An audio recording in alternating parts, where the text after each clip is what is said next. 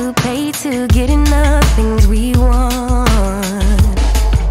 But if we take